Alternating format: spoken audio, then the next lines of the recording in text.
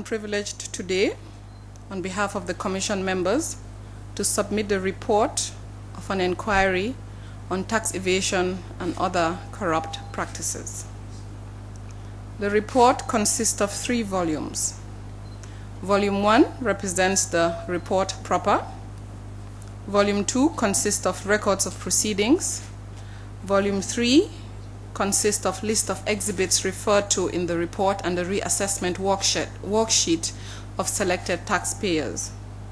It is important to note that the exhibits referred to in this report are contained in three metal filing cabinets, which would be handed over to the Honorable Attorney General at a later date. The document attached to Volume 3 of the report is an index and reference to the documents marked as exhibits referred to in this report. Your Excellency, Mr. President, before I proceed further, please allow me, on behalf of Commission members, to express our sincere gratitude for the confidence bestowed upon us to carry out this assignment. We feel humbled and honored to have embarked on this national assignment in the interest of the state and the public as a whole. We thank you, Your Excellency, for your foresight and wisdom in establishing this commission. I shall now proceed on to the formation of this commission. Distinguished cabinet members, on the 28th day of October 2011, the President of the Republic of the Gambia, in accordance with Section 200 of the 1997 Constitution of the Gambia, established by legal instrument contained in legal notice number 27 of 2011, a commission of inquiry into tax evasion and other corrupt practices for accountants, legal practitioners, engineers, medical practitioners, companies and private persons and institutions required to pay tax to the Gambia Revenue Authority. The commission consisted of the following commissioners who duly took their oath of office before commencing work. Justice Mama Fatima Singhateh, chairperson of the commission, Mr. John S. L. Gomez, commissioner, Mr. Momodu Sabali, commissioner. He replaced Mrs. Musukeba Kaur. The mandate of the commission. The period under inquiry of this commission in the exercise of its mandate was from 1999 to 2011 December.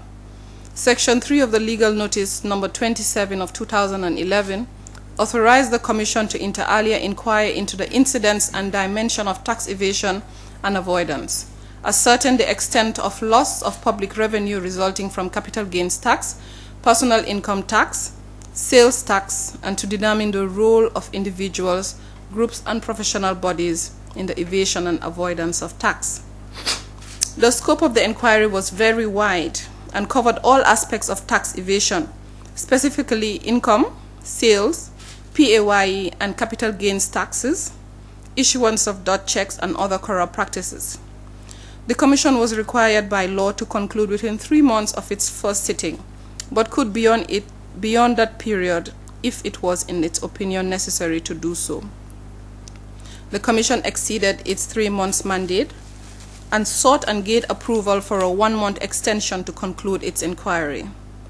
The Commission inquired into the tax obligation of legal practitioners, accountants, medical practitioners, construction companies, GSM companies, hotels, and other types of companies and businesses, all of whom are mandated by law to pay tax.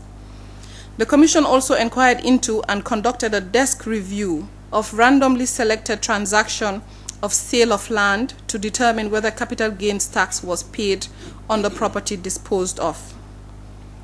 In a bid to fulfill its mandate on the, on the aspect of issuance of dud checks, the Commission also inquired into the level of practice of issuing dud checks, but limited itself, given the magnitude of the scope of this area, to dud checks issued in the payment of taxes and those checks issued to GRA domestic tax.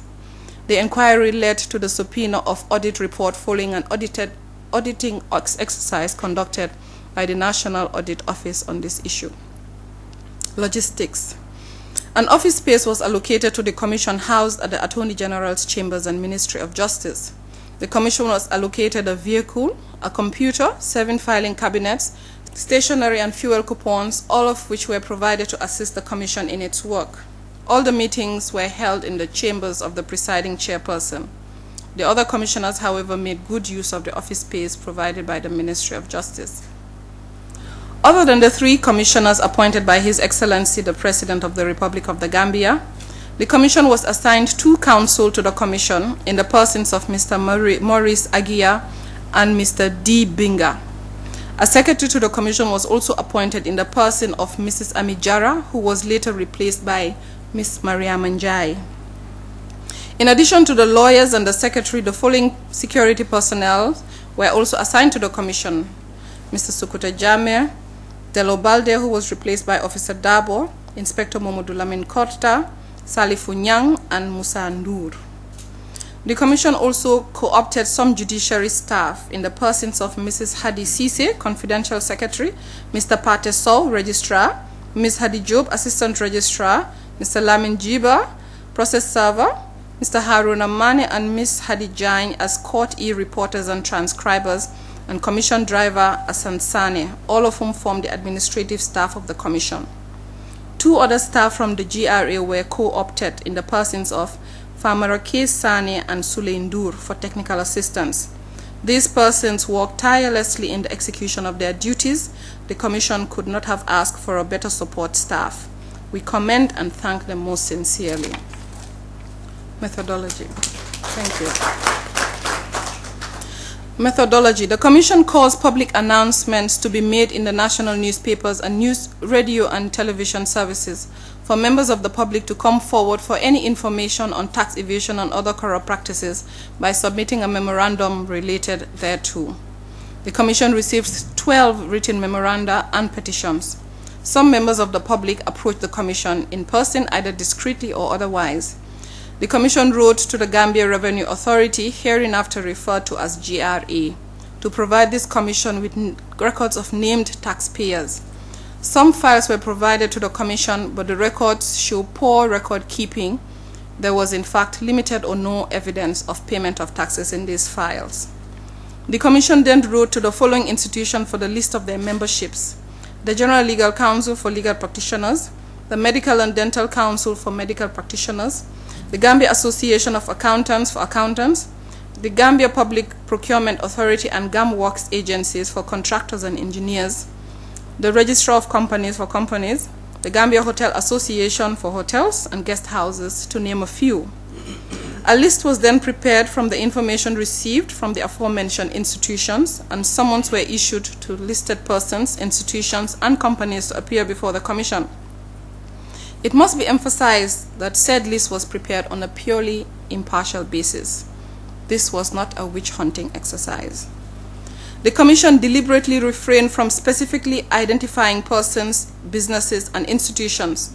It relied purely on information received from the above mentioned institutions within the, the, within the basis of its mandate. Given the little or no evidence of payment of taxes in the files provided by GRA, the Commission adopted a procedure whereby taxpayers were summoned to appear and make available evidence of payment of their taxes, most particularly income, sales, PAYE, and capital gains tax. Initially, the Commission had also required practitioner witnesses to provide evidence of private practitioner fees.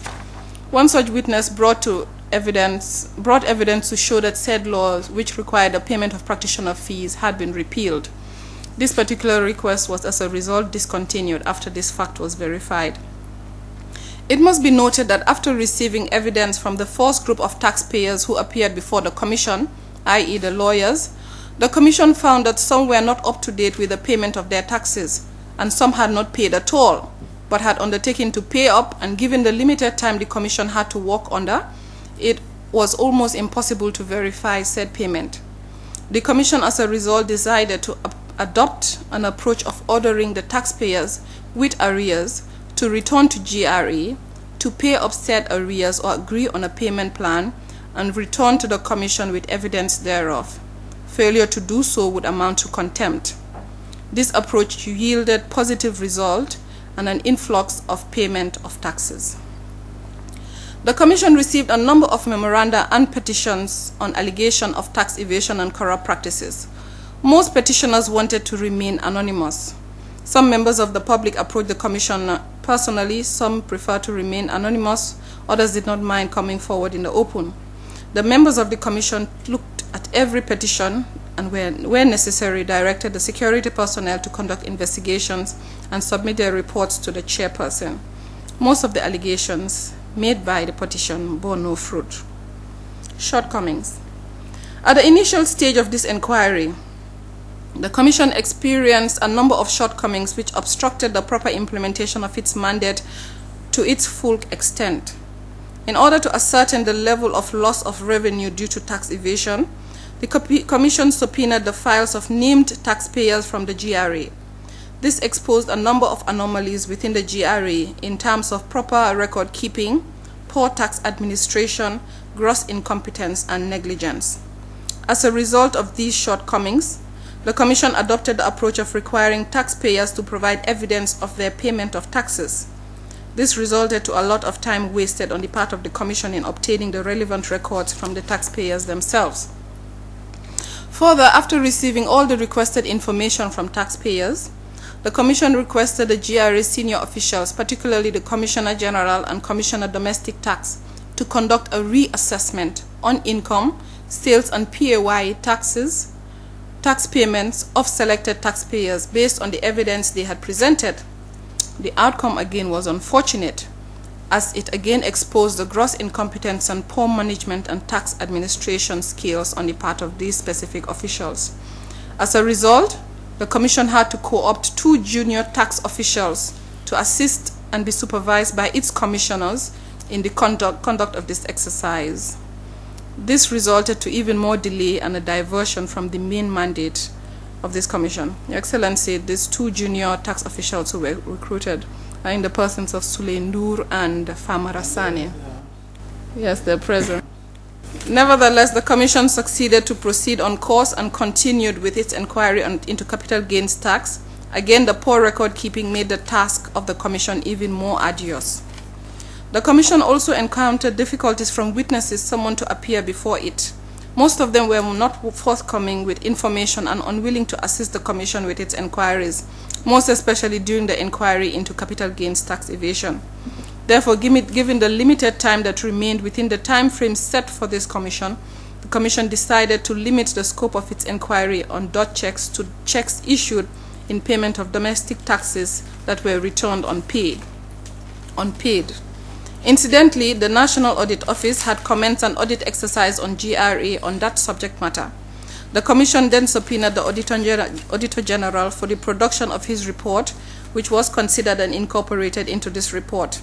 As a result of this, and given the little available data, the Commission's inquiry did not extend to how the issuance of dud checks affected foreign direct in investment.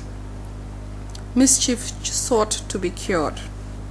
To our mind, the mischief sought to be cured by the setting up of this commission is to ensure that the problem of tax evasion is greatly reduced, if not completely eradicated or eliminated. Further, by understanding the role played by each sector of society in causing loss of public revenue through tax evasion and other corrupt practices, the proper mode of addressing this problem would be determined. Therefore, to better address this exercise, there was a need to have a thorough understanding of the structures in place that collect public revenue. For a better understanding of these structures and their role in revenue collection in the Gambia, one had to understand that the government of the Gambia derives its revenue for sustaining the economy mainly from income generating from taxes. Simply put, Gambia has a tax-driven economy. Tax, according to Black's Law Dictionary 9th edition, is a charge usually monetary imposed by government on persons, entities, transactions or property to yield public revenue.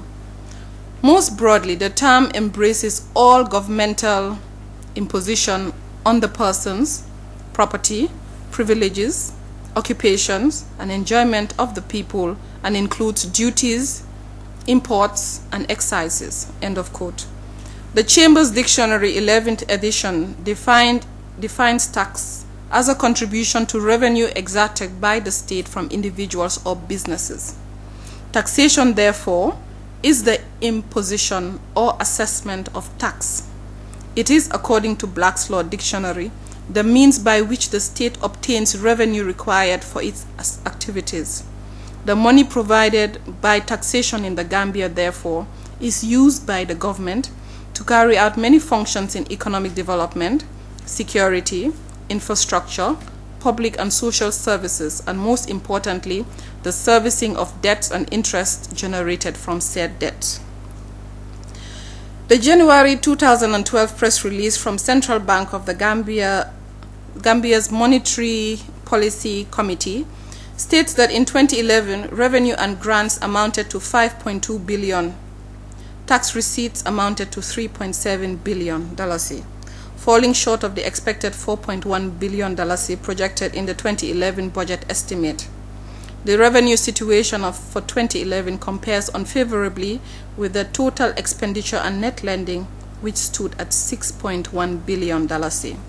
The mismatch between revenue and expenditure resulted in the overall budget deficit, including grants of $910 million. This dire situation of government fiscal performance is becoming endemic because the deficit for the year 2010 was $1.4 billion.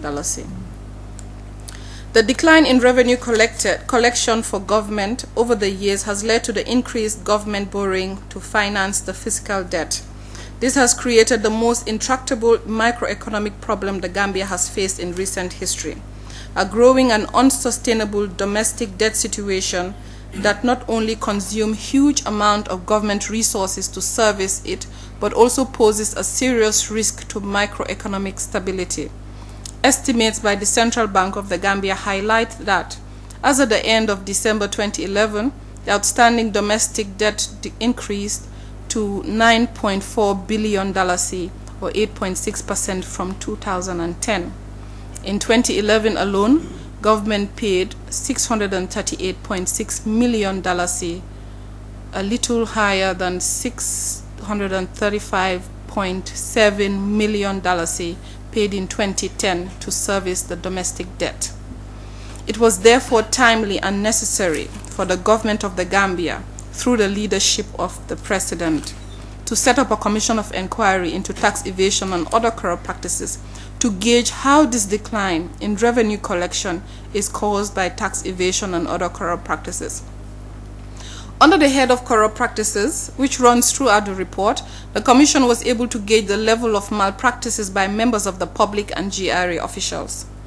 To ensure the proper performance of the systems in place for revenue collection, the Income and Sales Tax Act of 2004 was enacted and revised and amended, and it was enacted to revise and consolidated, consolidate all the laws relating to income and sales tax, and all matters connected therewith. The provisions of this Act are referred to throughout this report. Hearing and evidence. The hearing of the Commission of Inquiry commenced on the 5th of December 2011 and concluded on the 28th of March 2011. Between this period, over 300 witnesses appeared and reappeared before this commission on matters related to income, sales, PAYE, capital gains taxes, and issuance of dud checks. Some appeared with evidence of payments of their taxes. Most of the hearings of the Commission of Inquiry were held in open court, covered by all the major print media in the Gambia. At the conclusion of the hearing, the Commission evaluated all the evidence before it and noted that the methodology adopted by the GRA in assessing taxes or accepting taxes paid after self-assessment was flawed.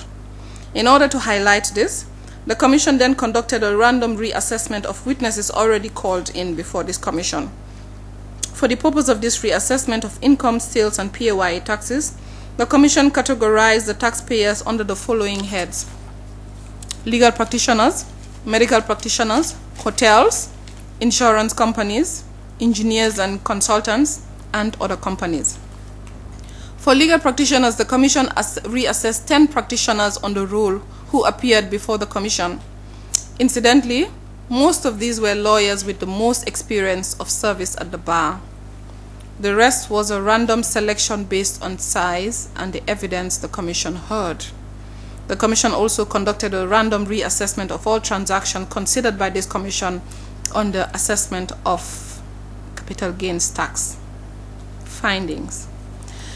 The outcome of said reassessment exposes serious flaw in the assessment process and procedures adopted by GRA, which is depriving government of large amount of much needed revenue. In all, the Commission conducted a reassessment of only 50 income, sales, and PAY taxpayers and 14 capital gains taxpayers. These reassessment exposed a great anomaly in the taxation methodology and negligence by GRA in tax administration. Specific findings. First is on the declaration.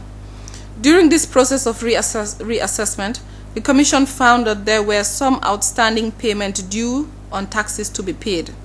The Commission found that selected taxpayers were wrongly assessed and therefore said taxpayers paid less tax than required. During this eh, reassessment exercise, the Commission suspected that most of the income claimed to have been earned in any given year was greatly underdeclared. This the Commission found more prevalent with lawyers. Our methodology for reaching this conclusion is based on their seniority at the bar and the fair market value as defined in Section 4 of the Income and Sales Tax Act of the services provided in this field.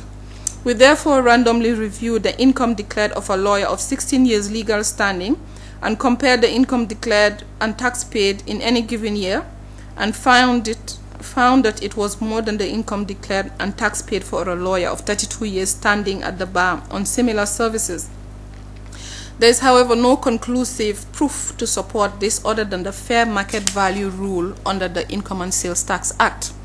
The Commission, however, strongly believes and firmly concludes that there is a case of serious underdeclaration of income earned with a view to evade tax on pay, evade the payment of taxes. The Commission therefore recommends a thorough and detailed inquiry and investigation to be conducted on this issue in order to ascertain the magnitude of underdeclaration of income by taxpayers. 2. Wrong or non-assessment. On the issue of reassessment of these selected taxpayers, the Commission found that selected taxpayers were improperly assessed. Some were not even assessed. We also found that there was limited or no information on assessment of some taxpayers, particularly large taxpayers. We found that the methodology adopted by GRA to assess taxpayers is, is by assessing them based on assessable income, that is, after an allowable deduction it is worth stating that Section 34.1 of the Income and Sales Tax Act provides for allowable deduction on any expenditure incurred in deriving gross income. Therefore, what the Commission found was a taxpayer would declare an income and then assess himself on an assessable income after deducting an alleged expenditure. The problem arose where no proof of expenditure is alleged is attached to support the figure reached in calculating the assessable income. It is straight law that anything alleged must be proved. Therefore, we consider that the burden rests on the taxpayer to prove any expenditure incurred to warrant an allowable deduction, and such proof must be in the form of receipts or any other form of documentation. Without that, the Commission considers that the assessable income claimed must be disregarded.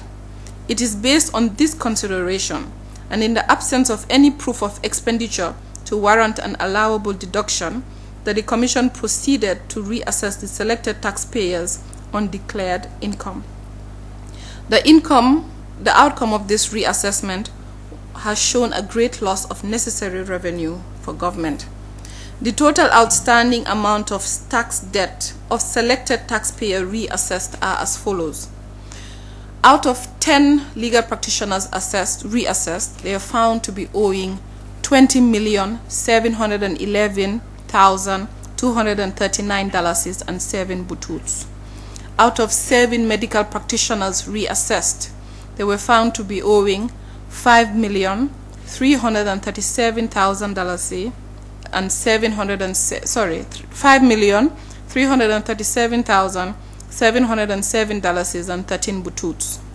Out of six insurance companies reassessed, they were found to be owing 98 million five five hundred and thirty-seven thousand three hundred and fifty-five dollars and seventy-six bututs. Out of 12 hotels reassessed, they were found to be owing 439 million 503,816 dalasi and 98 bututs. Out of seven consultants and engineers reassessed, they were found to be owing 15 million 263,390 dalasis and 93 bututs. Out of eight other companies, including GSM companies, together were found to be owing 1 billion 945 million 670,081 dollars point 70 bututs. Out of these companies, four of them were GSM companies, which together their um, liabilities amounted to one billion nine hundred and six million seven hundred and fifty-three thousand one hundred and forty-two dollars. The total amount of these taxpayers reassessed, numbering 50, the total amount of liability, 50 of them are owing, amounts to 2 billion 525 million 56,000 $591.57 bututs. Tariff on sales tax. The Commission found during this reassessment exercise that from 2006 to date, sales tax was assessed at 20% for telecommunication services and 15% for services, service providers like lawyers and accountants. This is contrary to Section 142.3 of the Income and Sales Tax Act, which provides for the rates ranging from 18%, 15%, and 10% respectively. We have found no law to support this departure from the Income and Sales Tax Act. When asked whether the law had been amended to reflect this departure from the law, the Commissioner of Domestic Tax remarked in her testimony of the 1st of March 2012 that there was a gazette that gave effect to it. The gazette, when produced, was found to have increased the tariff for payment of sales tax for others from 10% to 15%, but made no provision on change of tariff for telecommunication services or its increase from 18% to 20%. The Commission finds this very disturbing that tax authorities would depart from provisions of the law without any legal basis and in non-compliance with Section 237 of the Income and Sales Tax Act, which requires that any amendment for any rate and any monetary amount set out in the Act be amended by regulations. Loss of revenue on the domestic tax. By the evidence before the Commission provided by the GRA, we found that there is a total outstanding arrears of tax owed by individual taxpayers as of December 31, 2011, which amounts to 313 million $198,987.68 butut, bearing in mind that taxpayers are being wrongly assessed on assessable income instead of declared income as have been noted above, the amount, this amount could be higher. The total outstanding arrears of tax owed by large taxpayers as at December 31, 2011 is two hundred and thirty-one million forty-two thousand. $228.56 butut. This amounts to a total round figure of five hundred and fifty-five hundred and forty-four million, two hundred and forty-one thousand, two hundred and sixteen dollars point twenty-four bututs. This figure, though astronomical, given the nature of our economy and our tax base, does not fully reflect the extent of tax arrears owed to the state. In sum, the above reveal that in most instances, a serious case of tax evasion on part of the selected taxpayers is shown. Overall, the analysis and reassessment conducted showed that a total of 50 taxpayers reassessed had a total tax debt of income sales and PAYE taxes which collectively amount to two billion five hundred and twenty-five million fifty-six thousand five hundred ninety-one dollars point fifty-seven bututs. Further, when a reassessment of 14 selected capital gains taxpayers was conducted, they were found to be jointly owing three million eight hundred and thirty-eight thousand one hundred and six dollars point eighty bututs. During the inquiry into dud checks issued, the Commission limited its scopes to the inquiry of checks issued to GRA domestic tax by taxpayers. A summary of the outcome of this exercise found that dishonored checks unpaid for that period between 2007 and 2011 totaled to 21 million 412,085 dollars and 53 butut. Extent of loss of revenue. During the inquiry, the Commission was to some extent able to ascertain the extent of loss of revenue from tax evasion and failure to pay the proper tax due. The outcome of the inquiry show a total loss from 50 selected taxpayers reassessed on income sales and PAYE taxes amounting to over $2 billion and over $3 million for capital gains tax of 14 transactions of sales of leasehold property. The evidence before this commission shows an estimate of 250,000 recorded taxpayers. The commission considers that if a reassessment was conducted on each existing 250,000 recorded taxpayers, the extent of the actual loss would be phenomenal. Though our mandate did not extend to duty waiver, we consider duty a vital part of revenue collected. Therefore, when our inquiry stumbled upon losses incurred from duty waiver in the amount of 1 billion 286 million 223,000 $595.94 bututs between 2008 and 2011, the Commission felt it needed to be noted. Impact of the Commission on revenue collection. The Commission found that the level of revenue collected rose following the establishment of the Tax Commission. A comparative analysis was done of the evidence presented to this Commission, which shows a growth in revenue collected. According to the evidence based on the statistics provided, the Commission made an estimate of the impact it had on revenue connection between November 2011 and March 2012 in the amount of $328.1 million and having discounted increase in revenue for GDP growth by 6%, the Commission arrived at a round figure of $308.4 million of revenue generated as a result of the establishment of the Commission. Overall observation. The overall observations of this Commission during its inquiry includes the following. The detailed observations are contained in the report. First, the Commission considers that the Income and Sales Tax Act is robust and all-encompassing and therefore requires little amendments. Rather, we observe that the tax officials are not properly sensitized on the law and government is not properly utilizing the provisions therein. During the proceedings, the Commission's inquiry led to information volunteered by GRA management that they are on the verge of implementing a value-added tax. The Commission considered that given the overwhelming evidence that the current practice in GRA's tax administration is wrought with serious deficiencies that they need to be fully understood and corrected. A leap to a new tax regime on tax administration would be premature. During the proceedings, the Commission noted that some legal practitioners, by their admissions, have never paid sales tax. Others have admitted they have not been paying their taxes. The Commission observed that GRA have been receiving post-dated checks for payments of taxes made in arrears. This practice the Commission considers ought to be discontinued. The Commission particularly observed during proceedings that some taxpayers paid most of their taxes by personal checks.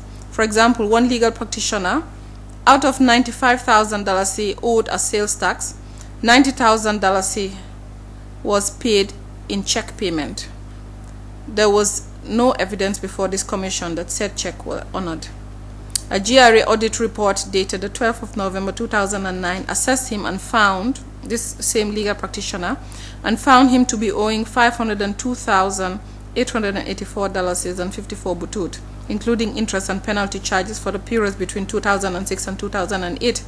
The evidence showed that the witness paid only $198,775 in November 2011, being arrears for income tax he then proposed to pay the outstanding amount, which was for sales tax arrears by installment, and attached to that proposal were post-dated checks for said payments.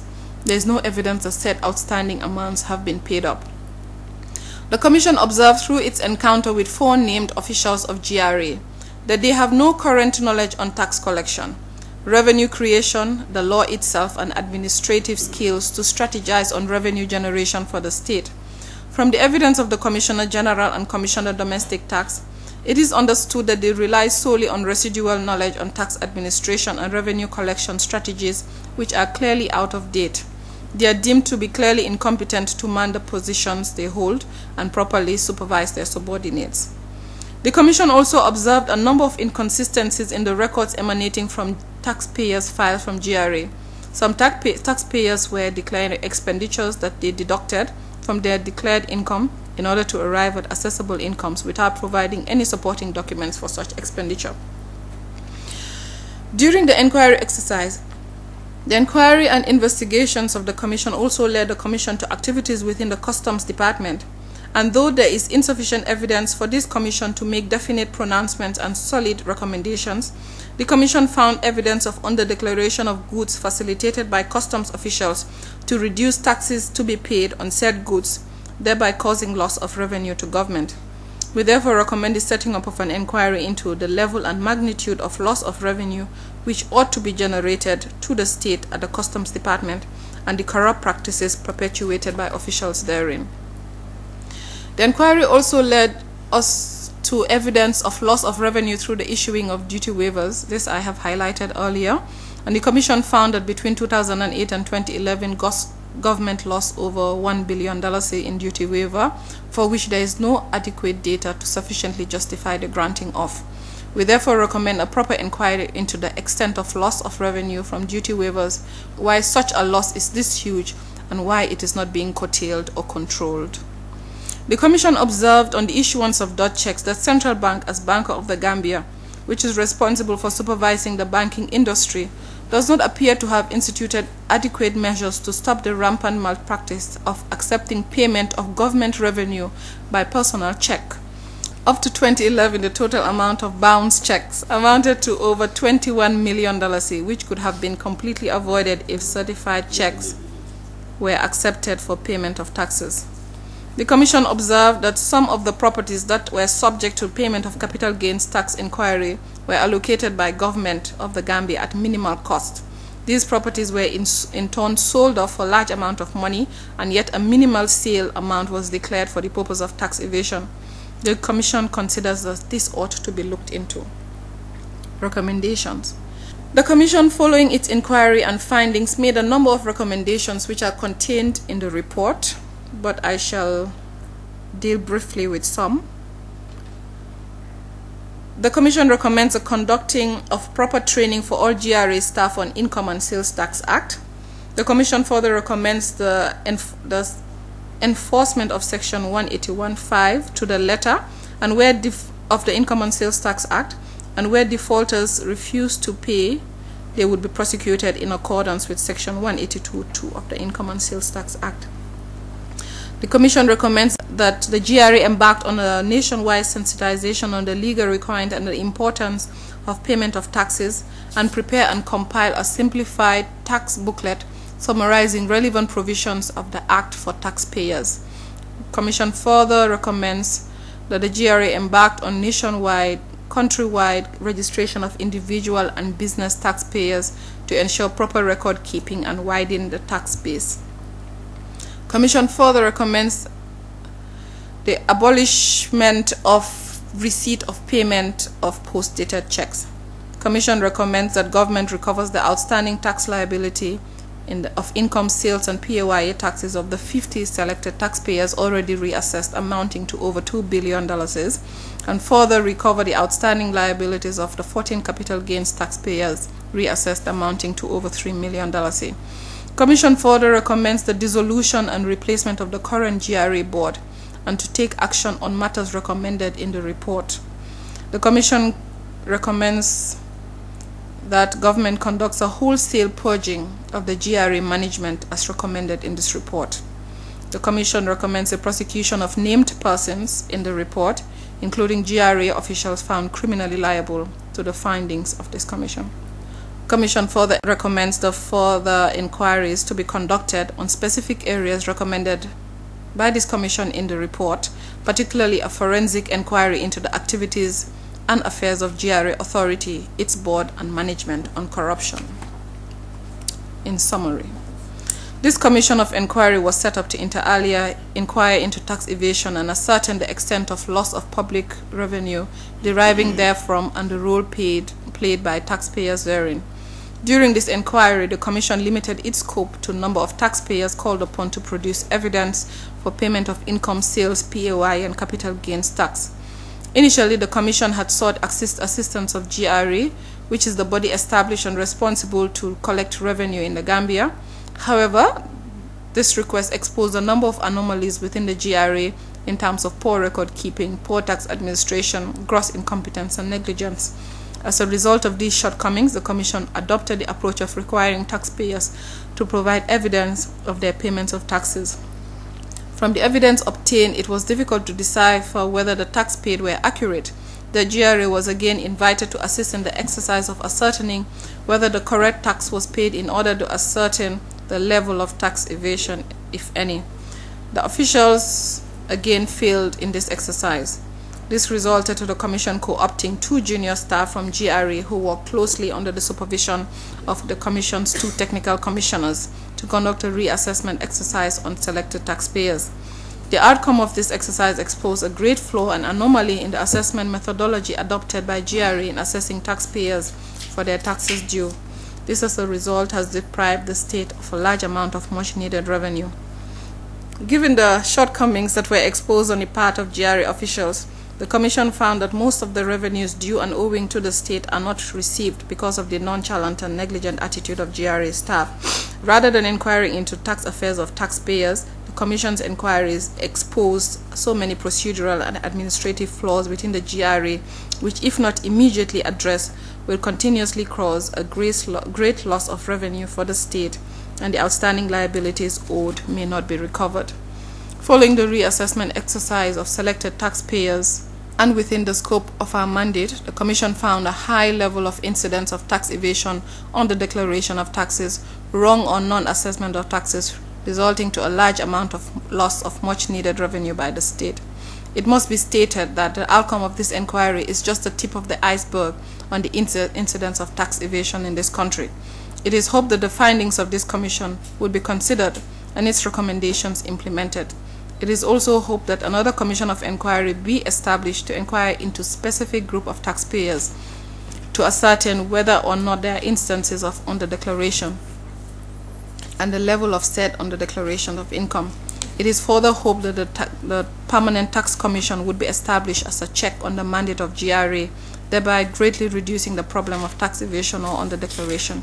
The Commission considered that if the relevant authorities, including the GRA, are to able to recover the outstanding liabilities from the named taxpayers in this report, it would ease the current financial burden that exists on the state. I thank you very much for your attention. I would like, with the permission of His Excellency, to call on you to present your report.